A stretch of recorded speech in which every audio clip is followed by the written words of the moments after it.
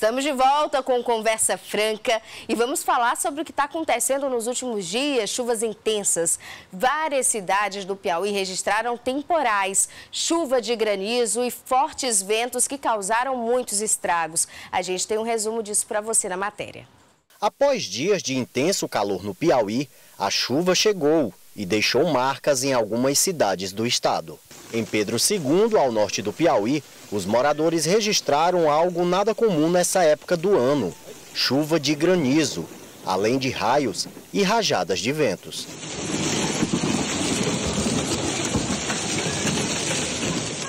Já em Paulistana, sudeste do Piauí, os ventos chegaram a ultrapassar 60 km por hora. Os moradores do município enfrentaram diversos estragos por conta de uma forte chuva acompanhada de vendaval, horas após a cidade registrar temperatura de 39 graus.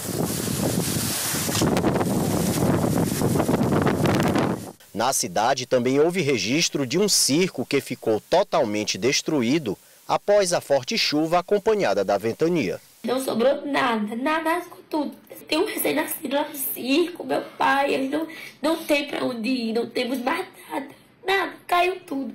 Tem um temporal aqui em Paulistana, foi muito rápido. E dessa vez o Circo dos Anões caiu. E agora a gente não tem mais condições de voltar. Se acabou tudo acabou tudo. Acabou tudo. Agora, infelizmente, a gente vai pedir ajuda de vocês. Agora a gente tá pedindo.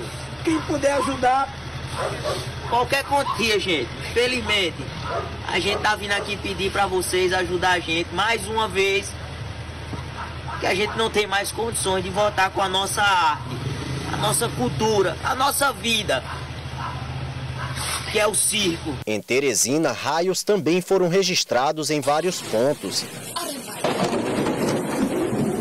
Ainda na capital, a unidade de pronto atendimento do bairro Satélite ficou alagada e os servidores foram temporariamente suspensos. Todo começo de temporada chuvosa, ela comporta um certo grau de severidade, ou seja, ou seja, um certo grau de risco. Por quê? Porque nós convivemos ainda com algo que não é da chuva que é o excesso de calor. Então, essa condição termodinâmica faz com que as nuvens elas se comportem de uma forma diferenciada. Crescem muito rapidamente, formam áreas muito instáveis, com muito vento, com muito carga elétrica e até com potencial de granizo. Então, as características do início da temporada são assim assinaladas. Então, a gente vai ter vários episódios ainda de vendaval, vários episódios de descarga elétrica. Para isso entra o trabalho das defesas civis, do monitoramento protetivo da defesa civil, que é avisar quando existe um risco para descarga elétrica, quando existe um risco para vento e de chuva forte.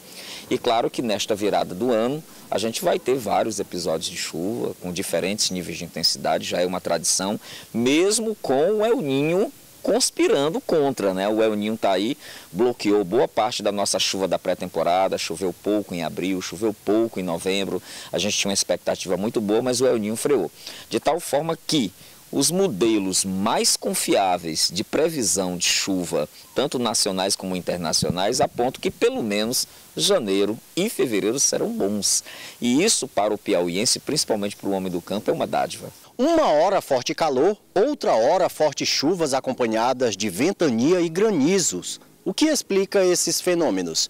Mas uma coisa é certa, os cuidados devem ser redobrados, principalmente nessa época do ano. A palavra que vai definir a temporada chuvosa 2023 para 2024 chama-se regularidade. Então, o que é essa irregularidade? Significa dizer que nós vamos ter chuvas com diferentes níveis de intensidade, que nós não vamos ter uma distribuição democrática da chuva, provavelmente ela vai estar concentrada em uma, mais em uma parte, ok? E nós vamos ter um encolhimento da duração do período chuvoso. Por que isso? Por que essa irregularidade? O fenômeno climático El Ninho já atuou em outros momentos. 96, 97, 2015, 2016, e em todos os momentos que ele atuou, ele fez essa supressão da chuva, ele diminuiu o potencial de chuva. Não é bom para os estados nordestinos, não é bom para o Piauí, mas a chuva ela é sempre muito bem-vinda. Claro, tem o seu componente de risco, e aí, claro, o aparato de defesa civil precisa estar preparado. Inclusive lá do Centro de Gerenciamento de Riscos da Defesa Civil, a gente está monitorando e orientando cada município do Piauí como proceder diante dessas situações. Nós observamos, além de chuva de granizo, alterações ventosas que ultrapassaram aí os 40 quilômetros. Aqui em Teresina, em Pedro II, os ventos, eh, eles ultrapassaram os 40 quilômetros por hora e em Paulistana ultrapassou os 61 quilômetros por hora. É, lembrando que, dependendo do local da cidade, essas alterações ventosas elas podem ultrapassar essa marca, né? Em Paulistana, por exemplo, pode ter chegado até 80 quilômetros, né? De acordo com relatos e as imagens que foram é, analisadas.